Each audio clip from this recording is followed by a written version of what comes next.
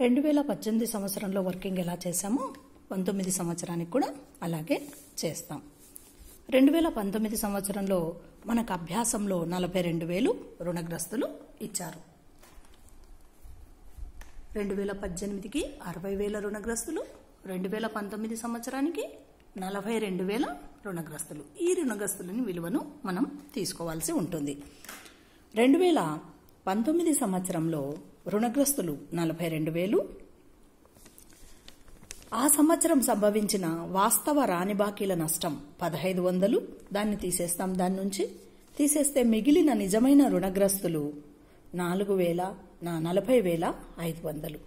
దీనిపైనే ఆ సంవత్సరం మనం ఏర్పాటు చేయవలసిన నిధి శాతం ఐదును ఐదు శాతాన్ని లెక్కించాలి. అంటే మొత్తం రుణగ్రస్తుల మీద ఈ ఐదు శాతాన్ని లెక్కించరాదు.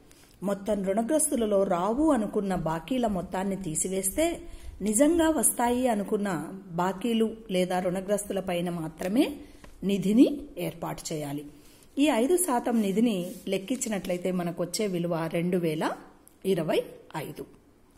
ఈ మొత్తాన్ని కనుగొన్న తర్వాత మనం ఈ మొత్తాన్ని మునుపు సంవత్సరంలో నమోదు చేసిన విధంగా తేల్చిన నిల్వగా తెచ్చి రాయాలి. మొదట మనం పంతొమ్మిది సంవత్సరానికి గాను పద్దెనిమిది సంవత్సరంలో మిగిలిన రెండు వేల తొమ్మిది వందల అరవైని తీసుకొచ్చి నమోదు చేశాం. వై తెచ్చిన నిల్వ అని.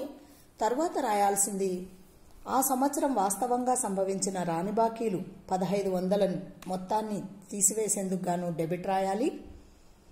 తర్వాత ఆ సంవత్సరం లెక్కించిన నిజమైన రుణగ్రస్తుల పైన ఉన్న నిధి మొత్తాన్ని రాయాలి. అంటే నలభై రెండు వేలలో నుంచి పదహైదు వందల ఈ రాణిబాకీల నష్టాన్ని తీసేసిన తర్వాత మిగిలిన రుణగస్తులపైన ఐదు శాతాన్ని లెక్కిస్తే మనకు వచ్చే మొత్తం రెండు వేల ఇరవై ఐదు.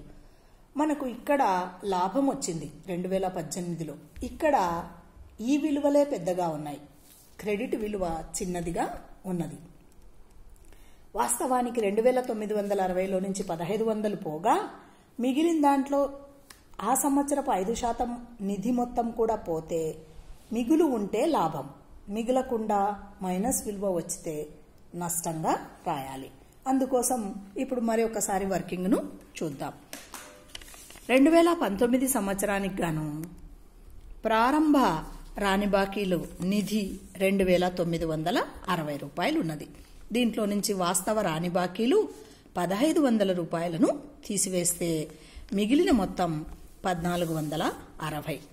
మనం దీన్ని నమోదు చేయము. రఫ్గా దీనిలో నుంచి దీన్ని తీసేసి చూసుకుంటున్నాం.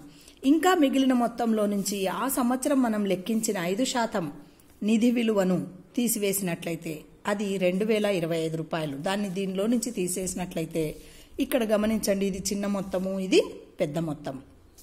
పద్నాలుగు వందల అరవైలో నుంచి రెండు వేల ఇరవై ఐదు పోగా మైనస్ విలువ మిగిలింది. మిగిలిన నిల్వ మైనస్ విలువ అంటే నష్టం. ఎంత అది? ఐదు వందల అరవై ఐదు రూపాయలు. అంటే రెండు వేల ఇరవై ఐదులో నుంచి పద్నాలుగు వందల అరవైని తీసేస్తే మనకు ఐదు వందల అరవై ఐదు మిగిలింది.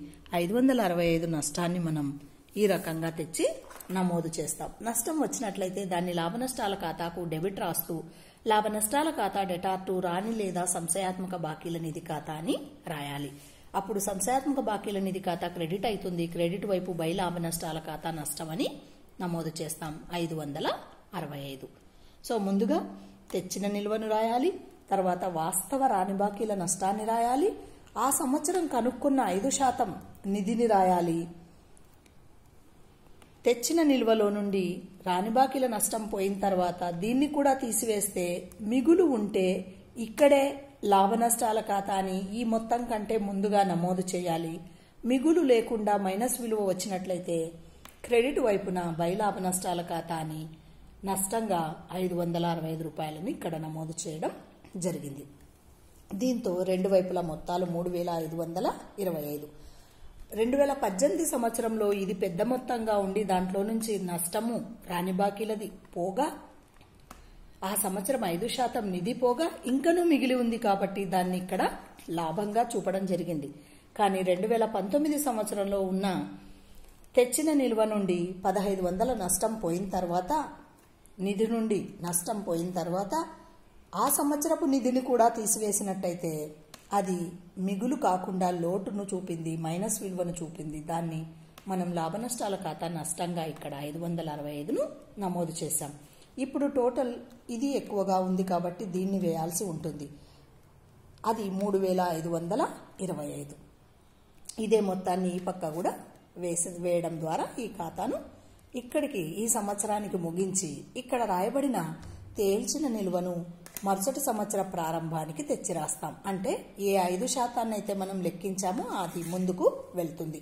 ఒకటి ఒకటి రెండు వేల ఇరవై సంవత్సరానికి గాను మనకు బై తెచ్చిన నిల్వ అని రాని బాకీల నిధిలో నిల్వ మొత్తం రెండు వేల ఇరవై ఐదు రూపాయలు చూపడం జరిగింది. ఇది రాని బాకీల నిధి ఖాతాను రాసే విధానం.